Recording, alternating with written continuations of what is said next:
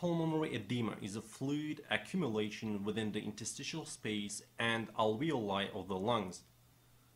It is very important to know, according to the causes, pulmonary edema can be divided into cardiogenic and non-cardiogenic. First, let's talk about cardiogenic edema.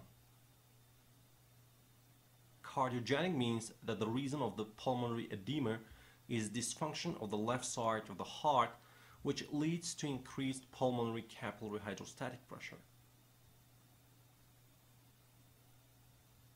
I will divide the patient's heart into the right and left sides. Here is the right atrium and right ventricle and over here we have a left atrium and left ventricle. These are some alveoli. So the blood travels to the lungs via the pulmonary arteries which adjoins to the pulmonary capillaries where the gas exchange occurs. Then the blood via the pulmonary veins reaches the left atrium.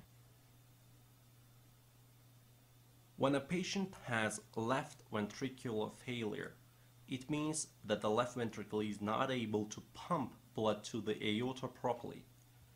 In this case, the pressure within the left ventricle and left atrium will increase, which in turn increases pressure in a pulmonary veins.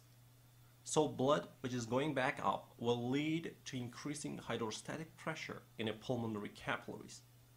Increased capillary hydrostatic pressure pushes the fluid out of the capillaries and fluid first starts shifting to the interstitial space, then to the alveoli and alveolar pulmonary edema develops. It is very important to note that pulmonary circulation is uniquely different when compared to systemic circulation. First, it is a very low pressure system. Under normal conditions, in a pulmonary capillaries, the hydrostatic pressure is approximately 12 millimeters of mercury oncotic pressure is nearly 28 millimeters of mercury. If you consider these two forces, there should not be filtration because capillary oncotic pressure is greater than hydrostatic pressure. However, we do have filtration in a pulmonary capillaries. This is because there is a high concentration of protein in the interstitium well, actually, this is the second difference between pulmonary versus systemic circulation. High concentration of interstitial protein creates a very high interstitial oncotic pressure, approximately 19 millimeters of mercury. This is the force which promotes filtration.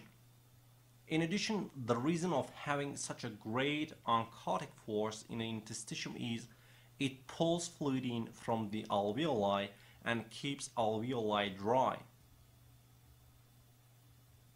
It is very important to note that if you take a look at other places of your body, for example, let's take a look at skeletal muscle, edema develops here more rarely than it does in the lungs. This is because the interstitial space between myocytes is very tight there is a very tight space here available in which fluid can accumulate.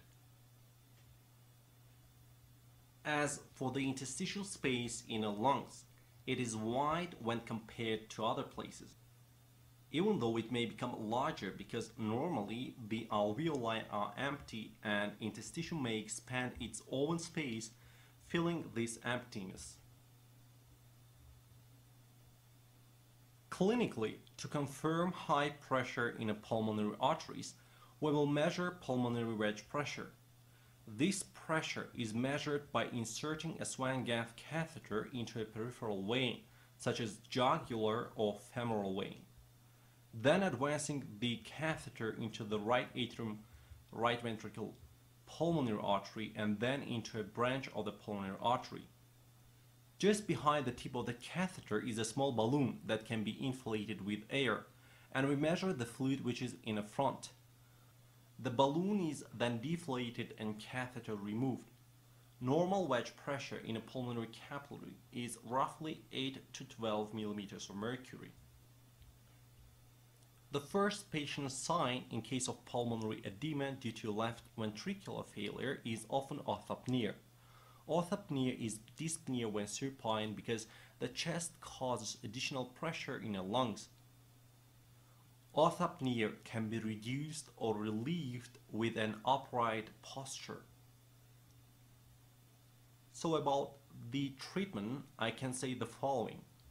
In order to reduce the left atrial pressure, we have to use diuretics.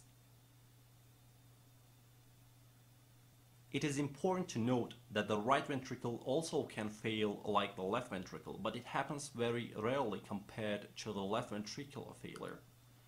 When the left ventricle fails, blood goes up to the pulmonary capillaries, and when the right ventricle fails, blood will go back to the systemic capillaries. This leads to increasing hydrostatic pressure in the systemic capillaries, which in turn leads to the peripheral edema. So if a patient has both of them, I mean the right ventricular failure as well as the left ventricular failure, we call it congestive heart failure. In this case, all the veins in a body will be congested, either in pulmonary capillaries and systemic capillaries throughout the body. Now, let's talk about non-cardiogenic pulmonary edema which occurs because of direct injury of the alveolar epithelium or after a primary injury to the capillary endothelium. The causes may be divided into the exogenous and endogenous.